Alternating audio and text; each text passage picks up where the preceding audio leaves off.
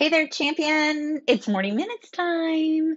All right. So, the quote we have today is great opportunities to help others seldom come, but small ones surround us every day.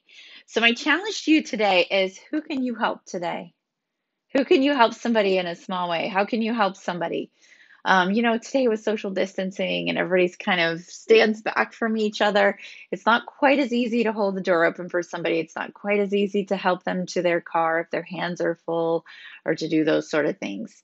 But I imagine you can find a way. You can find a way to help somebody today in a small way and then try again tomorrow you know and and if you start doing that enough it just becomes a habit.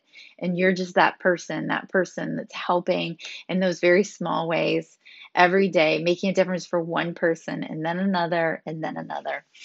All right everybody i hope that uh, you have an amazing day. And our quote again is great opportunities to help help others seldom come but small ones surround us every day all right. I hope this video finds you healthy and safe, and I look forward to talking to you again real soon. Bye.